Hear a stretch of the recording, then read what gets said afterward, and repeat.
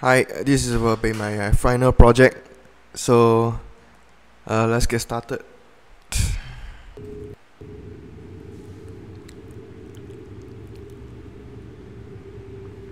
So, one of the basic uh, technology, I think the first and foremost is the uh, sequencer that I used in the beginning to show the cutscene.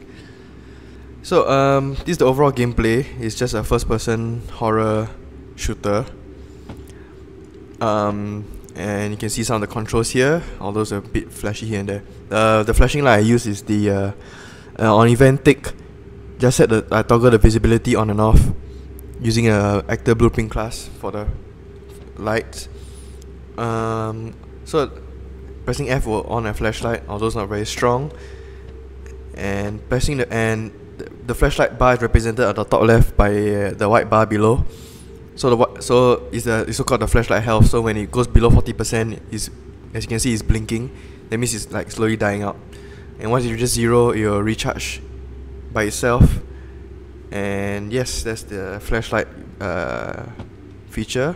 Above is the green bar, which is the health bar.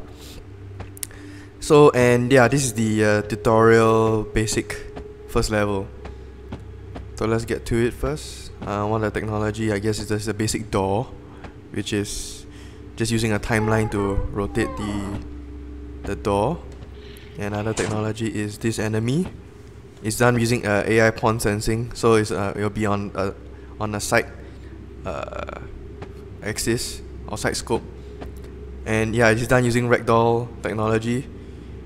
And this shooting is also done with the first person uh, normal shooting template where I just added I don't make I want to make it like a shotgun spread so I added a few more bullets to the actual shot uh, and added particle effects to yeah I use particle effects and apply onto the bullets itself. Okay this then is the real feature or gimmick of my game which is this virtual keyboard right here. If I were to type in a code or anything using right click and if I press enter then I want this door to open. But this code the player doesn't know what, what combination of code it is. So I've hidden the code throughout the levels. So but for the tutorial the code is like down the down this hallway on the right where I'll, I'll teach them what to what to write or what to type in. So let's go find the code. And yeah the code's down th down there by this table with a blinking door. I mean a blinking light yeah and then there's one more enemy here so yeah that's, that's the code on the table. And if I press E to interact this uh, UI pop-up will appear. And will tell the player basically what to do throughout these levels. So yeah the for now the code is 4512 and what I've done here is I've also made made it an actual static mesh object. So when I when I pick it when I read this letter, the letter from the table is gone. So you can, as you can see, so I pick it up, and if I, if I press E or exit the trigger box again, it'll go back to the table. So yeah, the code now is four five one two. Another feature I guess is that if I were to type the wrong code, so let's say 4523 if I press enter there'll be alarm and the alarm will attract more enemies or more zombies down the hall this is this uh this will repeat until I think through a array count or until the sound dies down so if I delete and write in the actual uh, number return green and I can move on so this is the second level. Oh boy, I missed one. Oh, and I'm nearly dead. So yeah, there is uh, one more code. So I need to find out the uh, codes again scattered throughout the level. So the difficulty of this is that I spread it. Uh, instead of putting all the four numbers in one page, I spread it out like two or four pages. So for now it's two pages. So the the players to find out the uh, two numbered codes within this uh, level. So let's say if I kill one here and I shoot one here.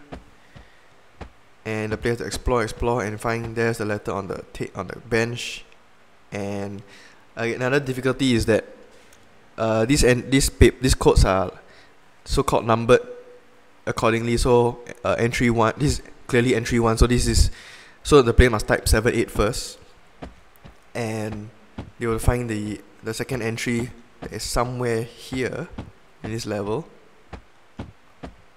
So I guess the joy or uh, the uh, fun of this whole game is just to for the player's exploration.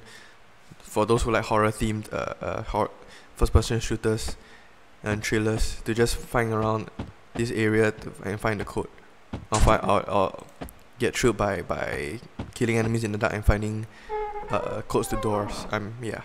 That was the second one, and this is uh, eight two, so the code is seven eight eight two.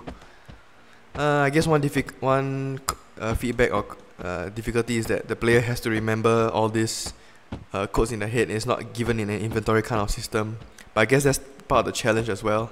Instead of giving it and spoon feeding them, this is just to let them really remember the the, the correct code and combination. So 7882 is correct, and we'll move on.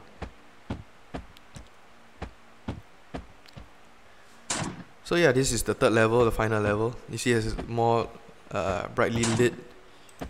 I guess I don't want to have the player to navigate through the dark all the time. And now the final difficulty part of this level is this code is being the code is being split into four four parts. And instead of telling them entry one, two, three, or four, I'm dividing it by months. So the player must remember the order of the months to correctly correctly represent the order of the code. For example, like March comes first, then October comes second, or October comes last, depending on the the spread of the month. Uh, so I guess one feature is that usually I'm I also won't hide the I usually won't put the code so clearly distinct. For example, if this table I won't put the code so clearly seen here. I put it somewhere hidden among this area. For example, is on this chair right here. So this is June. So let's say let's take June as the first code, and it's like three.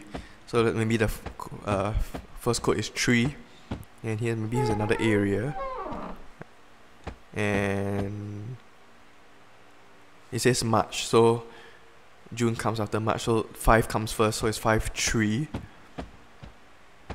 I think the third code is here where they must navigate and explore this kind of pillar area to find the code that's on one of these pillars. And you can see there's an enemy right there and the code's right here. So it's August. So it could be 539 539 so let's find the last code. Just up this staircase right here and they'll just have to navigate through this hallway or multitude doors so maybe it's I know it's not there. I know the last one is here. Okay so just now 10th August this is 9th August so this would so the code will be 5349 um, the technology for the virtual keyboard I think I've gone through in the previous GAT240 class but it's just basically a widget uh, text box and a widget button being put onto an actor blueprint.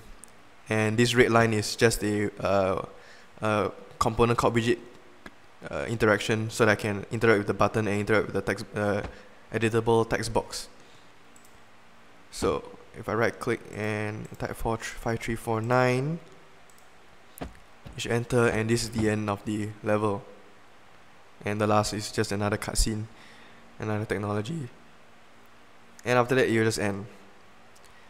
So yeah, that's the the end of the project.